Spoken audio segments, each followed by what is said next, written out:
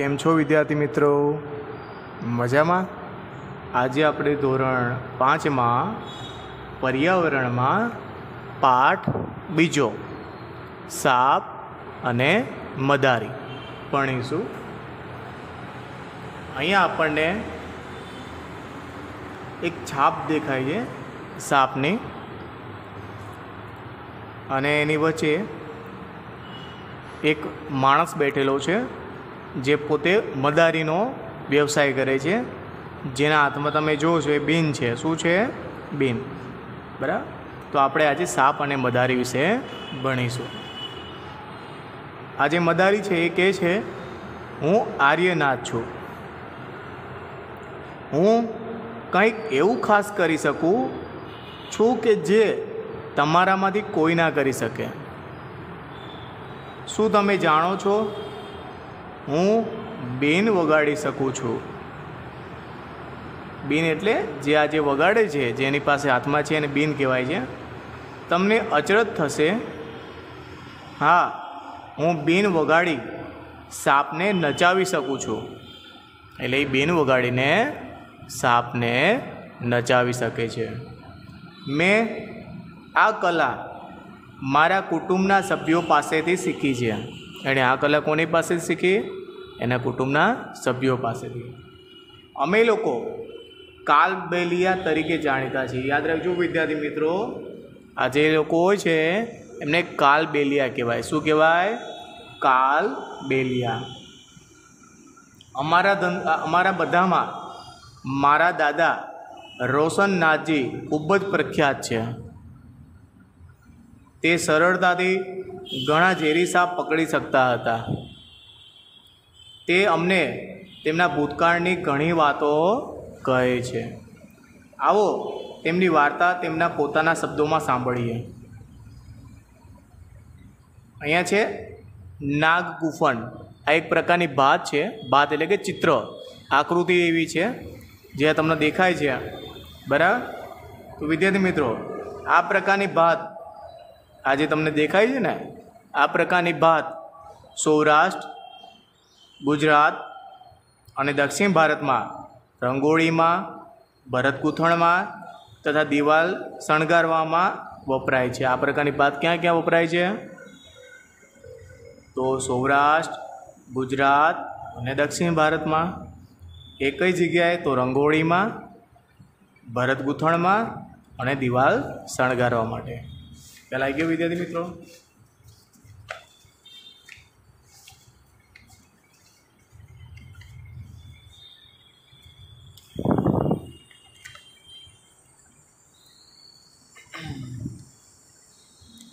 અહીંયા તમે ચિત્ર જોઈ શકો છો. દાદાજીને યાદ છે, મારા દાદા અને પરદાદાના સમયથી અમે મદારીના વ્યવસાય સાથે સંકળાયેલા છીએ. સાપ અમારા જીવનનો એક મહત્ત્વનો ભાગ છે.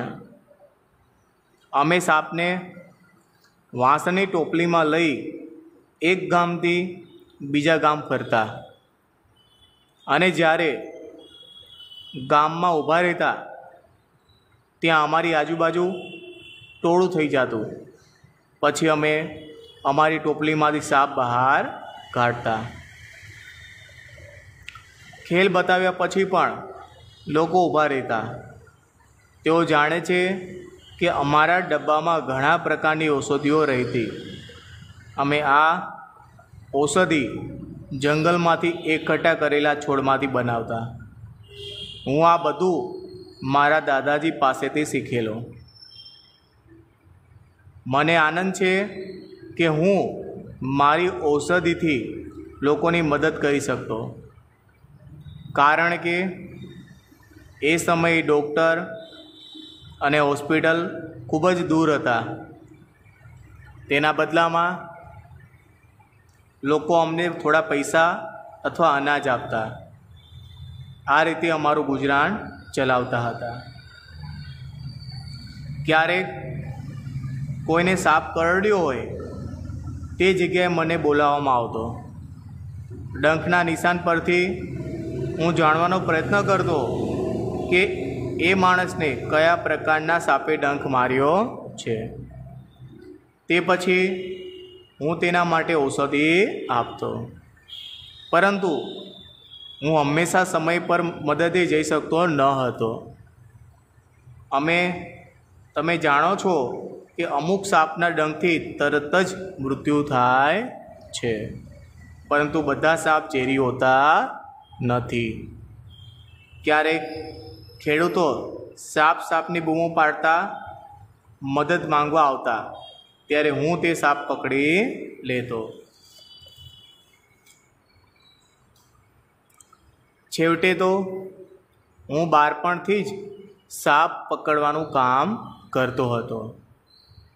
ઓહ, તે દિવસો સારા હતા અને અમે લોકોને ઘણી રીતે મદદ કરી શકતા હતા. અમે તેમનું મનોરંજન પણ કરતા. તે અત્યારના સમયમાં, તે અત્યારના સમય જેવું ન હતું, જ્યારે લોકો મનોરંજન માટે ટીવી કે ટેલિવિઝન જોતા હોય છે.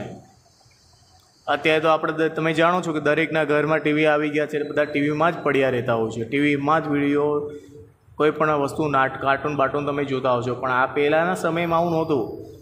પહેલાં દરેક બાળકો આ રીતના બહાર મદારી દરેકની રાહ જોતા અને આવતા ત્યારે ખૂબ જ શોખથી એની મજા માણતા હતા.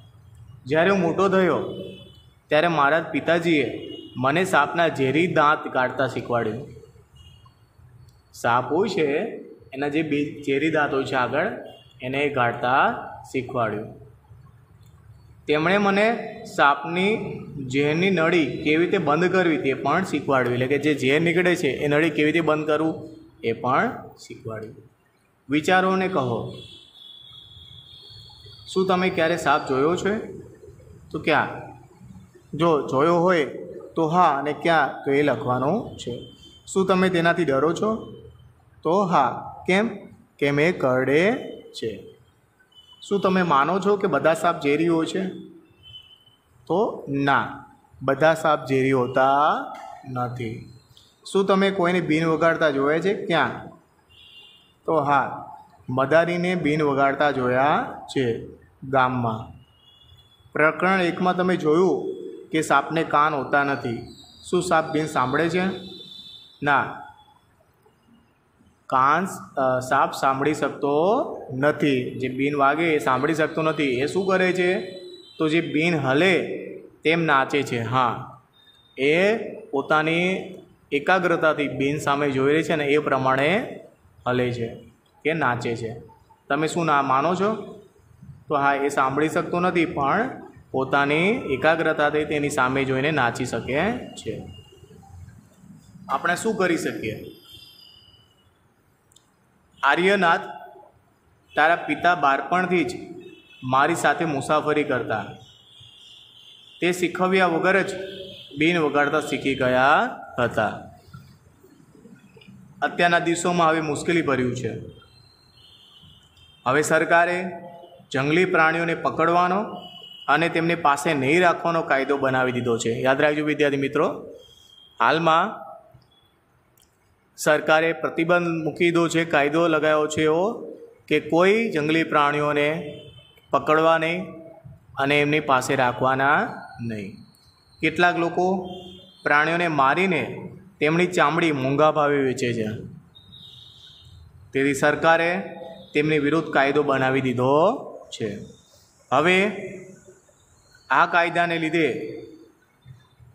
અમે કેવી રીતે ગુજરાન ચલાવીએ? લોકો કહે છે કે અમે સાપને ખરાબ પરિસ્થિતિમાં રાખીએ છીએ.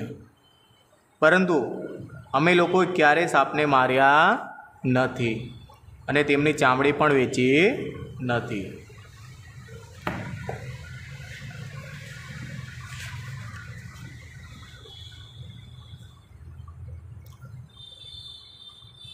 જો તમે, જો અમે ઈચ્છ્યું હોત તો સાપને મારીને ઘણા પૈસા કમાઈ શકતા હોત. હતા. પરંતુ અમે ક્યારેય એવું કર્યું નથી અને કરીશું પણ નહીં. સાપ અમારો ખજાનો છે, જે અમે એક પેઢીથી બીજી પેઢીને આપીએ છીએ. અમે અમારી દીકરીઓના લગ્નમાં પણ સાપ ભેટમાં આપીએ છીએ. ધ્યાન રાખજો વિદ્યાર્થી મિત્રો, આ લોકો એમના છોકરીઓના એટલે કે દીકરીઓના લગ્નમાં પણ સાપ ભેટમાં આપે છે. અમારા કાલબેલિયા નૃત્યમાં પણ સાપના જેવું જ હલનચલન થાય છે. એ લોકોનું નૃત્ય પણ છે કાલબેલિયા. જેમાં એ લોકો એનું જેવું હલનચલન કરે છે. આર્યનાથ તારે તારા માટે અલગ જ જીવન બનાવવાનું છે. તને તારા પિતા તરફથી બીન વગાડવાની ભેટ મળી છે. તું અને તારા પિતરાએ બીન વગાડી લોકોનું મનોરંજન કરી શકો છો. પરંતુ તમે તમારા વડીલો તરફથી મેળવેલું આ જ્ઞાન બરબાદ કરતા નહીં. તમારા સાપ વિશેના આ જ્ઞાનની ગામ કે શહેરમાં બાળકો સાથે આપણે કરો. અહીંયા જે ચિત્ર તમને આપેલું છે, એ વપરાયેલા સંગીતના સાધનો. તેમાં શું વપરાય છે? બેન, તુંબા, એટલે એક પ્રકારનો ડ્રમ, ખંજરી અને ઢોલ. ઢોલ સિવાયના ત્રણેય વાદ્યો સૂકવેલી દૂધીમાંથી બનાવવામાં આવે. શેમાંથી બનાવવામાં આવે વિદ્યાર્થી મિત્રો? સૂકવેલી દૂધીમાંથી. તેમને કહો કે તેઓ સાપથી ડરે નહીં. તેઓને ઝેરી સાપ ઓળખવામાં મદદ કરો. તેમને કહો કે સાપ કેવી રીતે ખેડૂતોના મિત્ર છે? સાપ છે ને વિદ્યાર્થી મિત્રો? એ આમ તો ખેડૂતોના મિત્ર કહેવાય છે. તેઓ ખેતરમાંથી ઉંદર ખાઈ જાય છે. એટલે કે જે પાકને નુકસાન કરનારા ઉંદરો, નાના જીવાણુઓ જે હોય છે, કીટકો, એને સાપ ખાઈ જાય છે. એટલે કે એમના જે પાક છે એ સુરક્ષિત રહે છે માટે સાપ ખેડૂતના મિત્ર ગણાય છે. નહીં તો ઉંદર પાક ખાઈ જાય. હવે તમે અમારી વાર્તા કહો અને તમારા જીવનની પણ નવી વાર્તા તમારા પૌત્રોને કહેવા માટે બનાવો. જો આ રીતનું છે કાલબેલિયા નૃત્ય. દેખાય છે વિદ્યાર્થી મિત્રો દરેકને? આને શું કહેવાય? કાલબેલિયા નૃત્ય.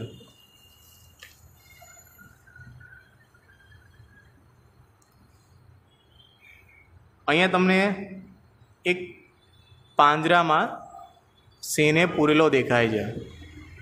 દેખાય છે ને વિદ્યાર્થી મિત્રો? તો આપણે એના વિશે થોડું જોઈશું. લખો. તમે ક્યારે પ્રાણીઓને મનોરંજન માટે ઉપયોગમાં લેવાતા જોયા છે? તો હા, તો કઈ કઈ જગ્યાએ? ઉદાહરણ તરીકે સર્કસમાં રોડ ઉપર અથવા પાર્કમાં આ તમારે લખવાનું છે, સ્વાધ્યાયમાં વિદ્યાર્થી મિત્રો ધ્યાન રાખજો. શું તમે આ જોયું છે? તો જોયું હોય તો હા અને ક્યારે? કયા પ્રાણીઓના ખેલ તમે જોયા છે? કયા કયા પ્રાણીઓના ખેલ બતાવે? તો વાઘ, સિંહ, વાંદરો, રીંછ. લોકો અને સાપ. લોકો ખેલ તમાશામાં પ્રાણીઓ સાથે કેવો વ્યવહાર કરે છે? તો ખેલ તમાશામાં પ્રાણીઓ સાથે ખરાબ વ્યવહાર કરે છે. કોઈ પ્રાણીને ખીજવતું હતું? તો હા, કેવી રીતે? તો એ લોકોને તપલી મારીને વારંવાર દોરડું ખેંચીને, મારીને એ લોકોને ખીજવતા. ખેલ જોયા પછી તમારા મનમાં કેવા પ્રશ્નો થયા હશે? તો ખેલ જોયા પછી તમારા મનમાં એવો પ્રશ્નો થાય કે આ પ્રાણીઓને છોડી દેવા જોઈએ, મુક્ત કરી દેવા જોઈએ. કલ્પના કરો, તમે પાંજરામાં એક પ્રાણી છો. તમે જ કોઈ પાંજરામાં કોઈ પ્રાણી તરીકે છો. તો વિચારો, તમને કેવો અનુભવ થશે? નીચેના વાક્યો પૂરા કરો. જાણો કે તમે સિંહ છો અને પાંજરામાં પૂરાયેલા છો, તો તમે શું કરશો? તો હું ડરું છું. તો જ્યારે મને પાંજરામાં પૂરે ત્યારે. હું ઈચ્છું છું કે હું પાંજરાની બહાર નીકળી જાઉં. હું દુઃખી હોઉં છું જ્યારે હું પાંજરામાં હોઉં અને બધા મને ખીજવે છે ત્યારે. જો મને તક મળે તો હું પાંજરામાંથી ભાગીને પાછો જંગલમાં જતો રહ્યો. મને તે જરાય પસંદ નથી. જ્યારે લોકો મને ખીજવતા હોય, પરેશાન કરતા હોય, હેરાન કરતા હોય. બરાબર વિદ્યાર્થી મિત્રો?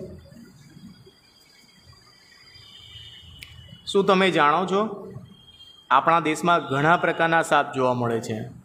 તેમાંથી માત્ર ચાર પ્રકારના સાપ જ ઝેરી હોય છે. યાદ રાખજો વિદ્યાર્થી મિત્રો, ચાર પ્રકારના સાપ જ ઝેરી હોય છે. તેઓ કોબરા, એટલે કે નાગ, કાળોતરો, અહીંયા જે છે, રસેલ વાઇપર, એટલે કે ખડચિતળ શું નામ છે? ખડચિતળ જે આ પછી જે સો સ્કેલ્ડ વાઇપર, એટલે ફુરસા, જે આ એટલે કે ચાર પ્રકારના સાપ જ ઝેરી હોય છે. કેટલા પ્રકારના? ચાર. એક નાગ, એટલે કે કોબરા, કાળોતરો, રસેલ વાઇપર, એટલે ખડચિતળ અને સો સ્કેલ વાઇપર, એટલે કે ફુરસા. ખ્યાલ આવી ગયો વિદ્યાર્થી મિત્રો? સાપને બે પોલા દાંત હોય છે. જ્યારે કરડે છે, ત્યારે ઝેર તેના દાંત દ્વારા માણસના શરીરમાં પ્રવેશે છે. યાદ રાખજો વિદ્યાર્થી મિત્રો, સાપને બે પોલા દાંત હોય છે આગળની સાઈડ. અને જ્યારે તે કરડે, ત્યારે ઝેર તેના દાંત દ્વારા માણસના શરીરમાં પ્રવેશે છે. સાપના કરડ્યા પછી બચવા માટેની દવા હોય છે. સાપના ઝેરમાંથી આ દવા બનાવવામાં આવે છે. અને આ દવા શેમાંથી બનાવવામાં આવે છે? તો સાપના ઝેરમાંથી જ આ દવા બનાવવામાં આવે છે. બરાબર, વિદ્યાર્થી મિત્રો? મોટે ભાગે તે દવા સરકારી દવાખાનામાં મળે છે. આ દવા ક્યાં તમને મળે? તો સરકારી દવાખાનામાં. લખો, આ પણ તમારે લખવાનું છે નોટમાં. મદારીની જેમ બીજા કયા લોકો પોતાના ગુજરાન માટે પ્રાણીઓ પર નિર્ભર છે? તો તમે જોયા હશે. તો ગામડાઓમાં અથવા પહેલાંના સમયમાં લોકો મદારીની જેમ રીછનો ખેલ કરનાર, વાંદરાનો ખેલ બતાવનાર તેમજ સર્કસોમાં પણ તમે જોયું હશે, વાઘ, સિંહ, હાથી જેવા પ્રાણીઓ ઉપર તેઓ નિર્ભર હોય છે. સર્વેક્ષણ તમારે આ સર્વેક્ષણ કરવાનું છે જાતે અને નોટમાં લખવાનું છે. એના જે સવાલ છે એના જાતે એકબીજાને પૂછીને તમારી આજુબાજુ જોજો. જે લોકો પ્રાણીઓ રાખે છે એના વિશે તમારા આસપાસના વિસ્તારમાં કેટલાક લોકો સાથે વાત કરો કે જેઓ એક કે તેથી વધારે પ્રાણીઓ તેમના જીવન નિર્વાહ માટે રાખે છે. ઉદાહરણ તરીકે ઘોડાગાડી માટે ઘોડા, દૂધ માટે ગાય, ઈંડા માટે મરઘી વગેરે. પહેલો સવાલ, તેઓ જે પ્રાણીઓ રાખે છે તેમના નામ લખો. એટલે તમારે આજુબાજુમાં કે જે કોઈ પ્રાણીઓ પાળતા હોય એને પૂછવાનું, કોઈ પ્રાણી પાળતા હોય તો એ લખવાનું. કેટલા પ્રાણીઓ છે? બે, ત્રણ, એક. તે પ્રાણીઓ માટે કોઈ અલગ જગ્યા છે એ લોકો માટે. તેની સંભાળ કોણ રાખે છે? તે પ્રાણીઓ શું ખાય છે? શું પ્રાણીઓ ક્યારે બીમાર પડે છે? તે વખતે પાડનાર વ્યક્તિ શું કરે છે? થોડા વધારે પ્રશ્નો બનાવો અને ચર્ચા કરો. તમારા પ્રોજેક્ટ પર અહેવાલ બનાવો અને વર્ગમાં તેનું વાંચન કરજો. અહીં એક છેલ્લું છે તમારે. દેખાય છે ને ચિત્ર? તમે આવું પણ બનાવી ઘરે શકો છો જાતે. એને કહેવાય છે સાપની પૂતળી, એટલે કે પપેટ. શું કહેવાય છે? સાપની પૂતળી. એના માટે સૌપ્રથમ એક જૂના મોજાની જોડી લો. ઘરમાં મોજા પડ્યા હોય ને, એને એક જોડી લો. એ તમારા હાથમાં પહેરી લો. આંખો માટે તેના ઉપર બટન અથવા ચાંદલો લગાવો આવી રીતે. જીભ બનાવવા લાલ રંગના કાગળની પટ્ટી કાપો. એને જીભ બનાવવા માટે શું કરવાનું? તો લાલ રંગના કાગળની પટ્ટી કાપો. અને બતાવેલી જગ્યા પર લગાવો એટલે કે અહીંયા. કાગળની બીજી બાજુ એટલે કે આ સાઈડ છેલ્લો જે ભાગ છે છેડો, ત્યાં. વી આકાર કાપો. કેવો કાપવાનો છે? વી આકાર કાપવાનો છે. અને આ રીતે તમારો સાપ તૈયાર છે. હવે તમે આ પૂતળીથી રમી શકો છો. આપણે શું શીખ્યા વિદ્યાર્થી મિત્રો? તો સરકારે કાયદો બનાવ્યો છે કે કોઈ પણ વ્યક્તિ સાપને પકડી અથવા રાખી શકશે નહીં.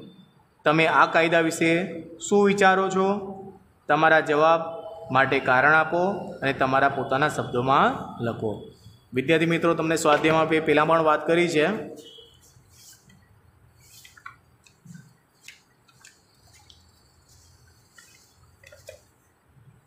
સ્વાધ્યાયમાં તમારે આ સવાલ, જે પેજ નંબર સત્તર ઉપર છે,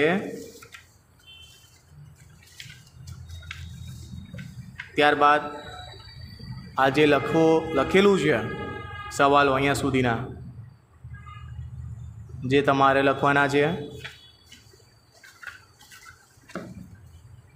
ત્યારબાદ અહીંયા પણ મદારીની જેમ બીજા ગયા લોકો, તો આપણે જોયું રીંછ પાળનાર, એટલે કે રીંછનો ખેલ બતાવનાર, વાંદરાનો ખેલ બતાવનાર, સર્કસોમાં વાઘ પ્રાણીઓ પણ નભનાર બરાબર?